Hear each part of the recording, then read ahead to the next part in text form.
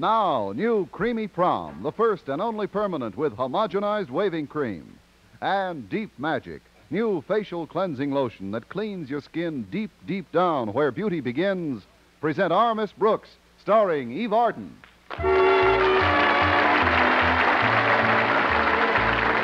It's time once again for another comedy episode of Our Brooks Transcribed. But first, ordinary home permanents use thin, drippy waving solutions like this. They often leave your hair dry and frizzy, hard to manage, but not anymore, because now you have new creamy prom. It's creamy, creamy, creamy. New creamy prom, the first permanent with homogenized waving cream. Yes, a thick waving cream, rich with costly conditioning ingredients. That's why new creamy prom actually waves new softness and manageability right into your hair. Leaves your hair softer, more manageable, in better condition than any other permanent you ever had. New creamy prom leaves your hair soft as a whisper. Soft as a whisper. I guarantee your hair never combed so soft, behaved so beautifully after a brand new permanent. Because only new creamy prom has homogenized waving cream to wave new softness and manageability right into your hair. And Prom's homogenized waving cream makes it so easy. There's no dripping, no rinsing, no timing, no messy neutralizer. Just smooth it on, roll it up, you've got yourself a prom. Get new creamy prom in the brand new package. And even if you're between permanents, don't wait to try Prom's homogenized waving cream. Get the new creamy prom end curl kit right now. Creamy, creamy prom.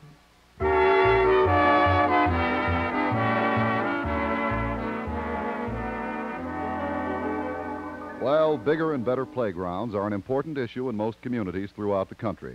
Madison High School, where our Miss Brooks teaches English, recently volunteered to help its local Chamber of Commerce collect funds for this worthy cause. That's why our beloved principal, Osgood Conklin, called us into his office early Friday morning.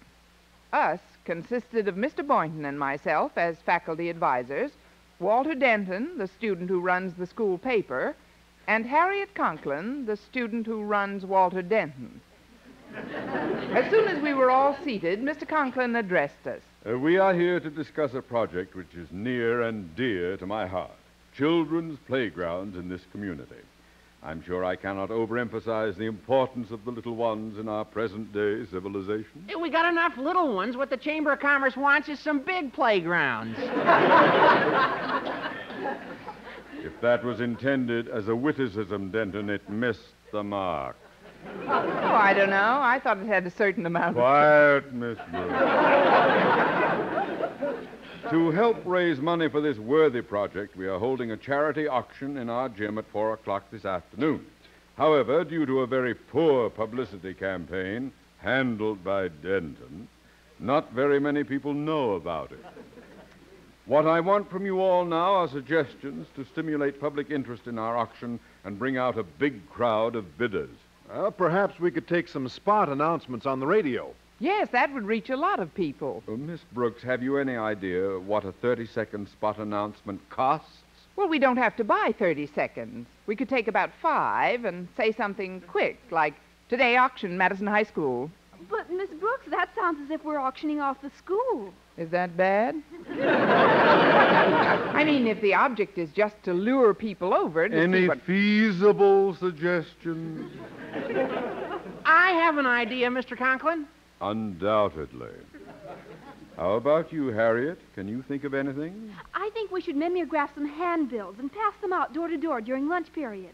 A lot of us kids could take different neighborhoods and really plaster the town. Excellent, Harriet. Yes, indeed. This town hasn't been plastered in years. I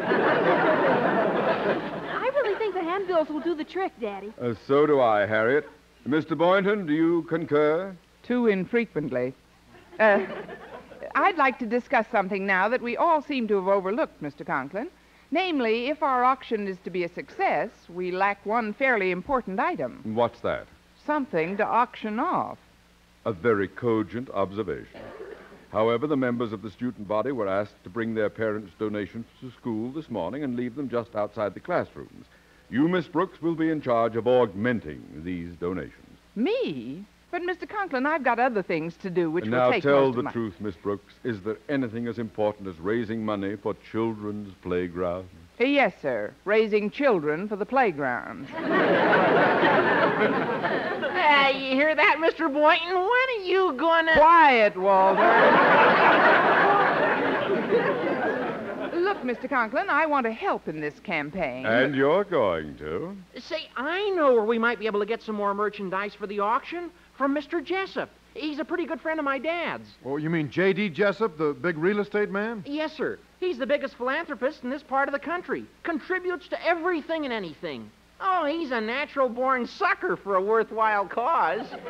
Charmingly put, Walter. And do get in touch with Mr. Sucker. Uh, Jessup. Now, Mr. Boynton, you will see to it that the auction tables are set up in the gym. Yes, sir. You, Miss Brooks, with the assistance of my daughter, will inspect the merchandise outside the classrooms and jot down the approximate value of each object prior to the auction. But, Mr. Conklin, why do I have to go through all that? Because, in addition to obtaining more material for this affair, I have also decided to put you in charge of auctioning it off. The meeting's adjourned. Oh, but, sir, I said meeting's adjourned. Good day, all. Bye, Dad. Golly, that's quite an honor Daddy conferred on you, Miss Brooks. Just think, you're head auctioneer. Yes, and we both know whose head I'd like to auction off first.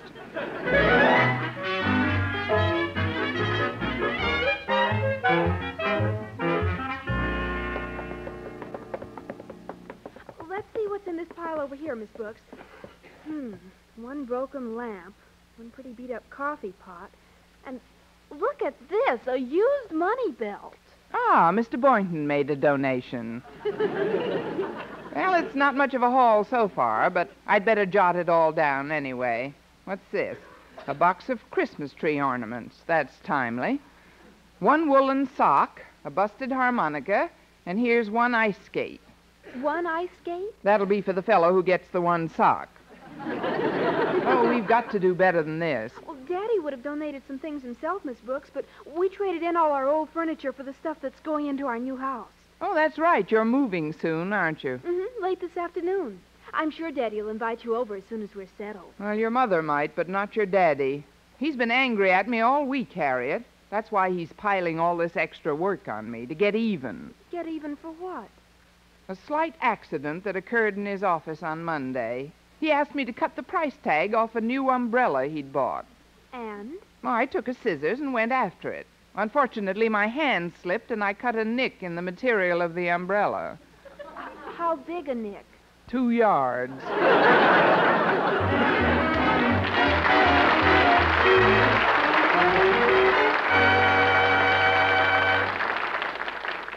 To put a little more excitement into this auction, Miss Brooks needs a real sure selling item like, well, like new Deep Magic facial cleansing lotion. What woman can resist Deep Magic? It not only cleans your skin up to three times cleaner than soaps or creams, it actually protects your skin, keeps it soft and smooth, even in the coldest winter weather. You see, Deep Magic is different. It's a gentle, flowing lotion cleanser with a special softening ingredient. Deep Magic cleans deeper, deep, deep down where beauty begins, and it leaves behind an invisible protection like nature's own. So remember, for gentle, deep cleansing and gentle protection, use Deep Magic Facial Cleansing Lotion. No other cleansing method leaves your skin so clean and clear, so soft and radiant. Deep Magic, the cleansing lotion that cleans your skin deep, deep down where beauty begins. Deep Magic.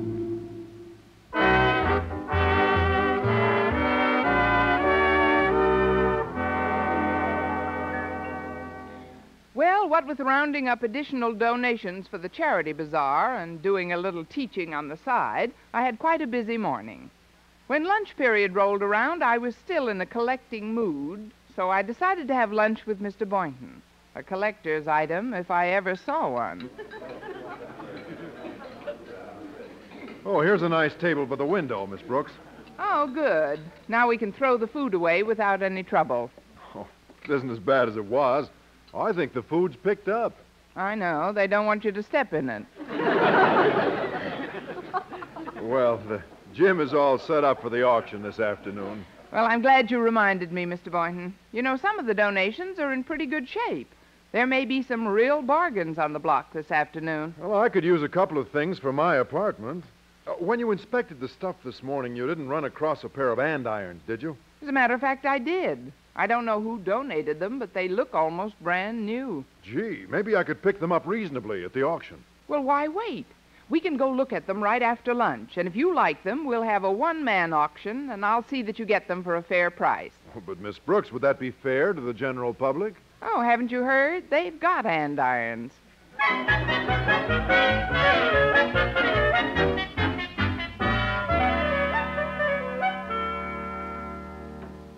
Have you seen Stretch Snodgrass anywhere, Harriet? Uh, no, Daddy, I haven't. I told that dummy to bring lunch to my office 20 minutes ago. Please, Daddy, that's no way to talk about Madison's star athlete. He may be a star athlete, but it's his brain that needs the exercise.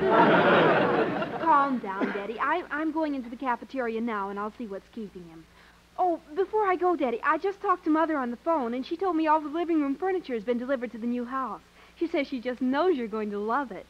Mother has such wonderful taste, don't you think? Obviously, she married me. One more thing, Daddy. The store made a mistake and delivered our andirons to the school here instead of to the new house. They're right outside your office now. Well, what am I supposed to do with them? Bring them home with you after school. They're awfully pretty, Daddy. Come on, take a look at them. Well, there's nothing better to do while I'm waiting for that dunderhead. Here they are. Aren't they pretty? Oh, they're all right, I guess. Mother paid $12 for them. Say, they're pretty. Well, I'd better get into the cafeteria. I'll send Stretch in with your lunch as soon as I find him. See you later, Daddy. Very well, Harriet. I'll be in my office. Why everything has to happen all at once, I'll never know. Of all the days to be moving, this is the most inconvenient. Well, let's see now. Where are those andirons I saw this morning? Oh, are these them? Yes, those are them. These are those. Yep, them's the andirons, all right. How do you like them? Perfect. They're just what I had in mind. Good. Tell you what I'm going to do. Step in a little closer, Bud. What am I offered for these lovely andirons? How about 50 cents? This boy is closer than I thought. I've got 50. Do I hear more? Not from me. Why, I'd give 75 cents for these myself. Well, I'll make it 80. Now you're talking. I've got 80 cents. 80 I've got. Going once for 80, going twice for 80. I'll bid 85 cents. That's the spirit. I've got 85. You're not in this, Mr. Conklin. I'm not?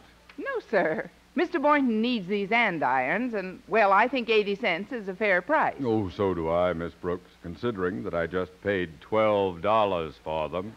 $12. Well, I'm terribly sorry, Mr. Conklin. We didn't know they were yours. That's quite all right, Boynton, but just to be on the safe side, I'll take them with me. Now, I'd better get back into my office before Miss Brooks sells my socks. We just need one. Well, folks. Hello, Mr. Conklin. I've got your lunch. Well, it's about time, Snodgrass. Come with me. I'm terribly sorry about the andirons, Mr. Conklin. There was so much stuff in the hall, there was no way for me I to... know. Put everything on my desk, Snodgrass. Yes, sir. Here's your coffee. I put sugar and cream in it, and I'm sure it's just the way you like it. I'm sure it is, except that I ordered tea with lemon. Oh, I'm sorry, Mr. Conklin. I'll change it. Never mind. Where's my sandwich? Oh, here it is. Bacon and tomato on whole wheat, wasn't it?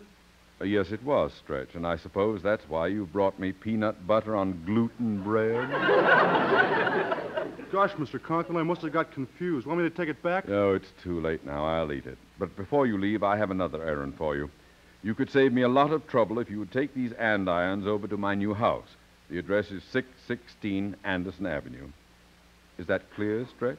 Oh, yes, sir. You want me to take these, uh... What are they again? Andirons. Oh, yeah. You want me to take these andirons over to your new house at, uh... What was that address again? 616 Anderson Avenue. It's very simple if you associate andirons with Anderson Avenue, you see? Oh, sure. You want me to take these Andersons over to... Six- I'll write out the address. there we are. There. Now then, Put it in your pocket and don't lose it. Okay, Mr. Conklin. Uh, by the way, Snodgrass, Mrs. Conklin may be out shopping, so just leave the andirons on the front porch. Yes, sir. Stretch. Oh, boy, what a deal I just made with Mr. Jessup. Who's he, Walter? He's the big philanthropist. He is? Yeah, he owns real estate all over this town. And he just told me that one of his houses is being torn down in a few days to make room for the new freeway. Oh, that's too bad. No, it isn't. Instead of selling the furniture in it to a second-hand store, Mr. Jessup's donating it to our charity bazaar. He said we could help ourselves to anything we want. Boy, that's good. Now, you've got to do me a favor, Stretch. I have to get some lunch now, and I want you to find Miss Brooks and ask her to make arrangements to have that furniture picked up. The address is uh, 211 Ironside Avenue. 211 Ironside Avenue. Yeah, I wrote it on this slip of paper. Here, I'll put it in your pocket so you don't lose it. Hey, but Walter- I sure appreciate your doing this for me, Stretch. See you later. Hey, wait a minute. Gosh, now he's got everything mixed up. Let's see. Mr. Conklin's new address is on this slip of paper. Where is it? What was it Mr. Conklin said again? Associate. Andirons? Ironside. Yeah, that's it. Sure, the andirons go to 211 Ironside Avenue, and we pick up the furniture at 616 Anderson Avenue.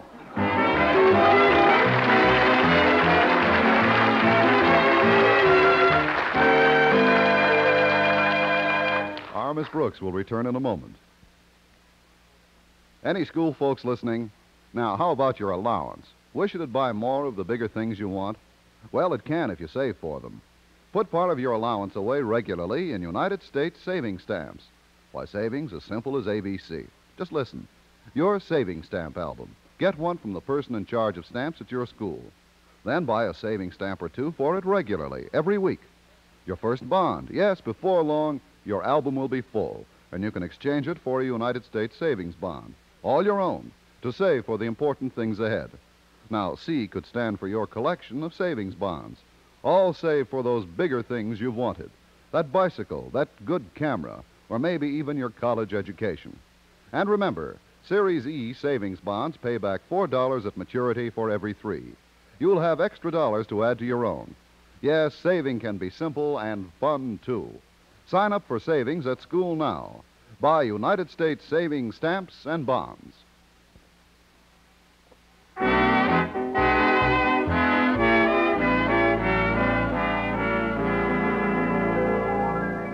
Well, at 3:30 that afternoon, Miss Brooks and Stretch Snodgrass picked up a van full of what was presumably Mr. Jessup's furniture at 616 Anderson Avenue.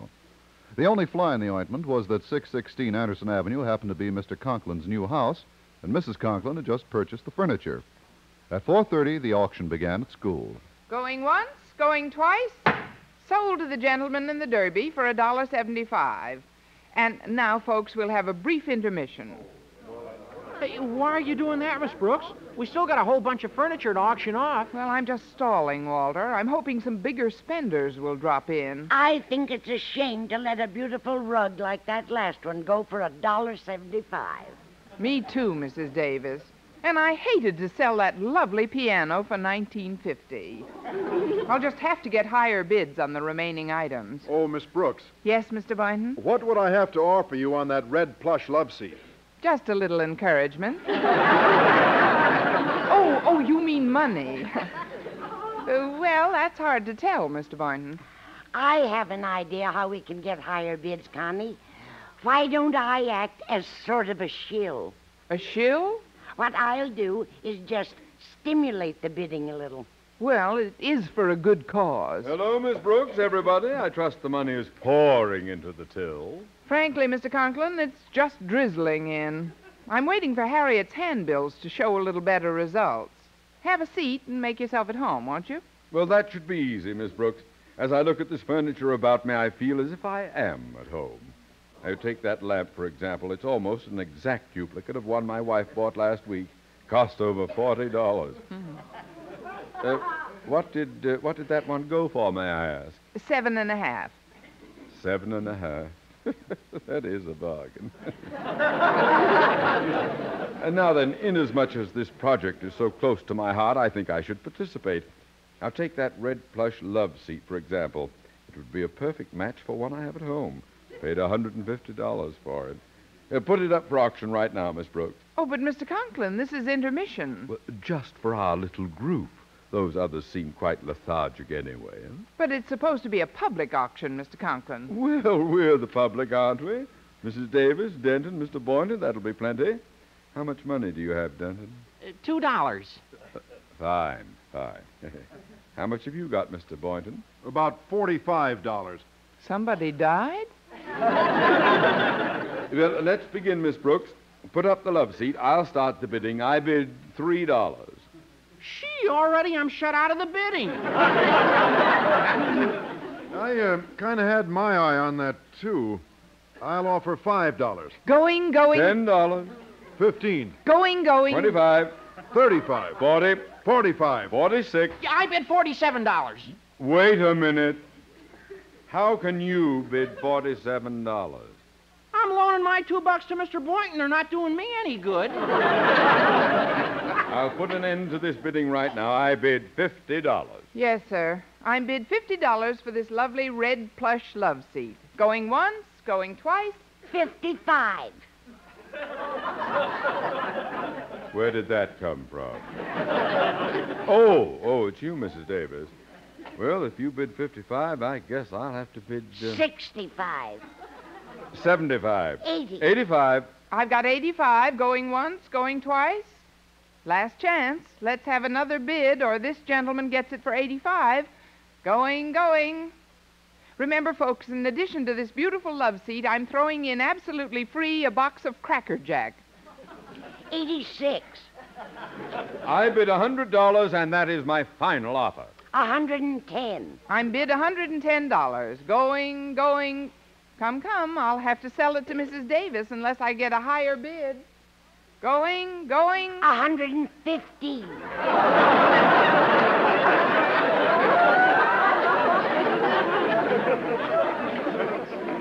You can't do that, Mrs. Davis. You're bidding against yourself. What's the difference? I'm just a shill. What? I demand that we revert back to my last bid of a $100.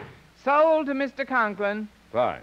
Now let's see. What else have we here? Oh, there's quite a bit of stuff, sir. Thanks to Mr. Jessup's generosity. Why, we practically cleaned out that house of his at 616 Anderson Avenue. Well, Jessup has the true American spirit, the spirit of benevolence and charity, so prevalent throughout this glorious nation. From the rock-bound coast of Maine to the sunny shores of 616 Anderson Avenue! Please, Mr. Conklin. I know you're patriotic, sir, but I've never seen your face turn red, white, and blue before. Miss Brooks, how did you get into that house? Oh, it was easy. Stretch Snodgrass and I just kicked in a few windows. Did you now? Well, I Sorry, would... Mr. Conklin. I gotta talk to you right away, Miss Brooks. Well, couldn't it wait, Stretch? I'm rather busy at the moment. Yeah, but I just saw Harriet Conklin and I found out we made a little mistake. That wasn't Mr. Jessup's house we took the furniture out of. It wasn't? Then whose house was it? Shall we dance? Mr. Conklin, it was your house. Well, there's only one way to settle this. Gather round, folks, gather round. What am I bid for me and Stretch Snodgrass?